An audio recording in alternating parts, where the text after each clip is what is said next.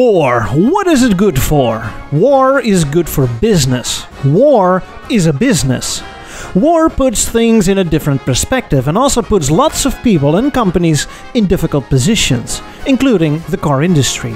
Many American car companies did business with German companies and vice versa, until someone higher up decided that these companies should not like each other anymore for whatever reason.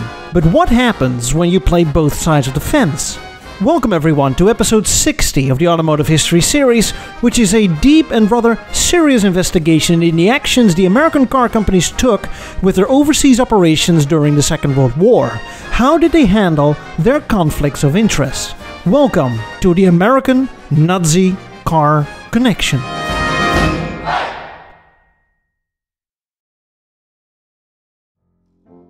By the late 1920s, it became pretty clear which car companies would dominate the American car market. In fact, it were three companies General Motors, Ford Motor Company, and the Chrysler Corporation, or the Big Three.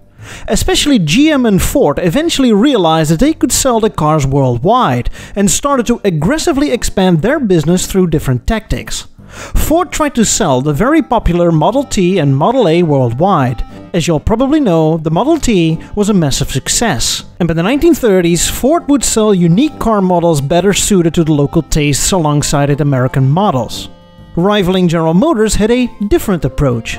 By the 1910s, the company set up a new division called the Export Company that took care of worldwide sales and acquired new markets. GM would sell their American brands and models all over the world, but did not try to adapt them to local tastes. Instead, GM would buy out local car companies that already had some name and fame, and sell non American models through these companies. First, GM gained a foothold in the UK by acquiring Vauxhall in 1925. Opel in Germany was acquired by GM in 1929, and the Australian coach builder Holden was acquired in 1931. GM usually let these companies do their own thing, within reason, resulting in cars that suited the local market well, but with a bit of an American flair in its design. Around the time both Ford and GM had set up shop in Europe, things started to change. A man with a distinct mustache started to make noises. Before the all out war, we will get there, don't worry, there was already a lot going on in Germany in the years leading up to 1940, although many leaders, analysts, and newspapers around the world didn't think much of it. Hitler was a strong leader with some daring and vocal opinions once in a while, but then there were some other European leaders doing the exact same thing, so no big deal. You'd think this would immediately put American car companies like Ford and General Motors that own German branches of Ford and Opel in a tough position. But it was quite the opposite, in fact. Before the war, these companies had very good relationship with the ever-growing Nazi movement. This led to certain situations that are, in retrospect, rather unfortunate. Like Hitler expressing his admiration for the American innovation and large-scale industrialization. He admired Henry Ford and his ideas about cars for the people. He also agreed with Henry Ford's anti-Semitic expressions. According to the stories, he had a picture of Henry in his office. And then there was James D. Mooney, Vice President of General Motors and tasked with guiding its overseas operations. He traveled all over Europe to make deals and explore new markets. Through this role, he eventually met high level Nazi officials in the mid 1930s, where they would talk about what General Motors and its Opel division could mean to Germany in terms of creating a people's car. It was there where he received the Order of Merit of the Eagle, the highest order a foreigner could receive and after receiving this award, Mooney was pushed forward as some sort of diplomat, trying to feel out the Germans on what their plans were and what it could mean for the United States in terms of trade. No, not war, trade. During these meetings, he met Hitler and reported back to the US president.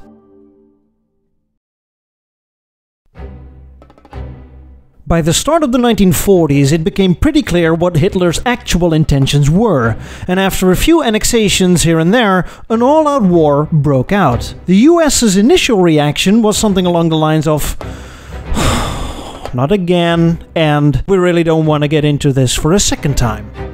But a surprise attack by the Japanese on Pearl Harbor changed this attitude, and the US officially declared war on Japan in December 1941, and Germany a few days later as a reaction to their declaration of war. Although the Nazis and the Americans were at war, business was still as usual. Nazi American automotive relations remained positive in order to keep the investment secured and the production going. Both GM and Ford appointed several Nazi officials as part of the board of directors of the German plants, and also increased war material production while at the same time resisting to increase war material production back home. And yet, the companies had to give in eventually, when the US government ordered that regular passenger car production would be suspended and all production capacity would be used to make war material. Some 50,000 airplanes, 130,000 engines, 17,000 heavy guns, and 25,000 light guns were produced in an effort to restore democracy in the world. And the American car companies were glad they could do it. They received millions of dollars in government war contracts, and on top of that, gained national pride and attention for helping so selflessly to win the war. They created what was called the Arsenal of Democracy. But these were the same companies that also produced what is called the arsenal of fascism. Both Ford and GM were deeply invested in making Nazi war material, and I'm just going to sum up a few things. General Motors and Exxon, the oil company, worked together to develop a synthetic fuel that was a great alternative for regular fuel, which really helped the Nazi troops on the move in a fuel starved Germany. According to some, GM built bombers and jet planes that were regarded as the most important for the Nazi army. Ford used slave laborers, usually prisoners of war, in the German factories. And arguably the face of it all, and what is also featured in the thumbnail, is the Opel Blitz truck. Although the truck was made well before the war had started, it can be considered as the backbone of the Nazi war machine. All in all, considering the total production output of the American car companies in Nazi Germany, some critics went so far to say that Hitler couldn't have invaded Poland and Russia without Ford and GM, and the war could have been fought without Hitler, but not without Ford and GM. Back in the USA, the American car companies retained their image as the effortless heroes of the war. The boys overseas were doing great with their Cadillac powered tanks, Willys Jeep, and airplanes produced by the Dodge factory in Chicago, and could not do it without their wonderful machinery. And yet, something seemed off. Imagine being an American soldier, fighting your way from Normandy far into German territory. You've seen so many abandoned German tanks, jeeps, and guns along the way. You've explored them, and you found that the mechanicals under the hood are oddly similar to what your tank has. You finally reach Rüsselsheim, only to find the factory left in ruins. Forced laborers behind barbed wire that don't speak German but praise Hitler anyway. And an assembly line full of unfinished Opels, powered by what seems, once again, familiar technology. You decide to check out the factory's main office, and among the debris and burned documents, you find a letter. That letter has the GM logo all over it. Something doesn't add up.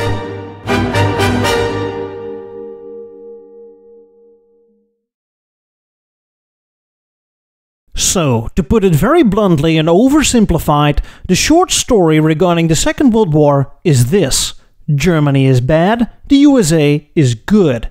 And the USA won the war thanks to the unlimited help of the American car industry. Along with the soldiers, they are the true heroes of the war.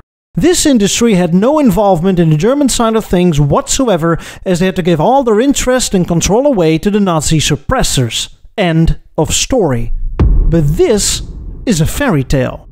Allow me to guide you once again through the timeline of the Second World War and the time thereafter, and look at how the American car companies handle their conflicts of interest.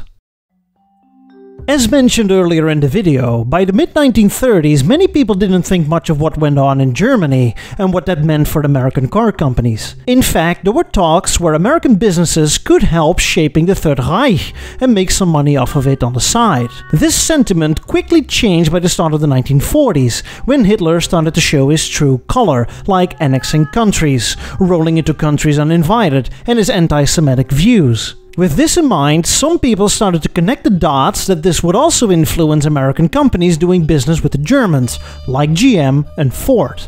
And so every so often, the government, institutions, and journalists would ask difficult questions. And so what was their first reaction? Denial. As much as you cannot hide the fact that the Fuhrer himself gave you the highest award possible, you can deny any other accusations. And so the American car companies denied any involvement in Germany. Detroit and Dearborn had nothing to do with Rüsselsheim and Cologne. When the war finally broke out between the United States and Germany, the criticism regarding the overseas operations of the American car brands grew stronger. But their second reaction softened a bit. Instead of fully denying that they had no influence on German war production, they admitted that they did profit from doing business with the Nazis, but in the all American way. This was not a matter of war, this was a matter of business. Strictly business or as Alfred P. Sloan, president of GM, liked to call it, sound business practice. And who doesn't like to make a quick buck? The American car companies took this stance of, We are in no position to either condone or criticize the way the German uh, government acts. It's not in our interest nor the right time or place to you know, that kind of stuff. And they'd better not criticize the man with the mustache or they would lose their multi million dollar investments. As the war progressed and became more ugly, the US government forbade American car companies to have any contact with their operations on German territory. This once again changed their narrative. Not only did they use this reason to show that they had nothing to do with it, even if they did have something to do with it, General Motors and Ford started to share the message that their hands were simply tied. The Nazis had gained full control over the overseas operations and they had no influence over it anymore. This is simply a lie. Leaked documents reported that the American stake in overseas operations had decreased and Nazis had gained a controlling interest. But it were the same Nazis that preferred not to gain complete control, arguing that Opel and German Ford were so well managed by the Americans it would only slow down production if they were kicked out entirely. It was in both parties' best interest if there was still some form of American control. When the war was finally over, the cover up story changed once again. In a whirl of celebration, relief, and joy that the war was over, the American car companies stepped forward, thumping their chest, priding themselves that they were in fact the true heroes of the war. The boys fighting over there in Europe couldn't have done it without their many tanks, jeeps, and planes. In fact, not only were they the heroes, but also the victims. Whose foreign factories all over Europe were blown to pieces during the war? Right, those of the American car companies. That these same factories produced war material used against those fighting for the good cause, well, that was conveniently forgotten.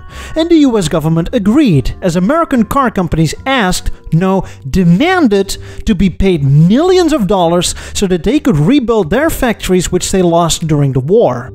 Still, when the war ended, there were a few American politicians and journalists that once again started to ask questions about their influence during the war. They were quickly hushed, however, because who is going to nitpick about these details in times of celebration? Let the past be the past. What happened happened. And wouldn't it be a rather weird move by the US government to suddenly backstab the auto industry by starting to openly criticize their overseas motives? They were the heroes that brought victory after all. It was once again in both parties' best interest to keep up the good show. And so, the criticism of playing both sides by the American car industry fell silent in the post war years. We should all forget about the horrors of the war, look forward, and embrace the future. And in many ways, the American car industry certainly embraced the future. From what I could find, it would take another 20 years or so before some agencies started to demand answers on difficult questions again. In 1974, an investigation was carried out by the US Senate Monopoly and Antitrust Subcommittee. A few articles were written about this trail, which also brought some new details to the table as mentioned in this video. The investigation was based on federal documents and reports floating around in various archives, as getting information directly from the source, the US carmakers, was almost impossible. Many representatives were not available for commentary, plenty of reports were suddenly lost, and not to mention that the companies hired armies of lawyers and self proclaimed automotive historians that would rewrite the company's history and defend the new narrative. This investigation brought up new revealing and confronting details about the wartime practice. And what was GM's reaction? a three sentence denial. It was the same story all over again. The Nazis took complete control over the Opel factories, and there was no influence from GM whatsoever. GM also accused other companies for doing the exact same thing, and therefore the charges made by the committee was nothing more than a direct and almost personal attack on GM, according to GM. The last sign of trying to get a clear view of what happened during the war came around the new millennium. A fund, established to compensate those who suffered from the Holocaust, set out to accuse various companies, including banks, oil industries, and the car industry. Think of looted art, unpaid insurance benefits, and the use of forced labor in factories. Both German and American car brands were accused and paid settlements that went to former prisoners of war and those that were affected by the Holocaust. One could say that the American car companies finally gave in and revealed some of their secrets, although this reveal came with an air of why would you start nagging us again about something that happened so long ago and as of today nobody's actively involved in anymore. I want to end this story with zooming out a bit.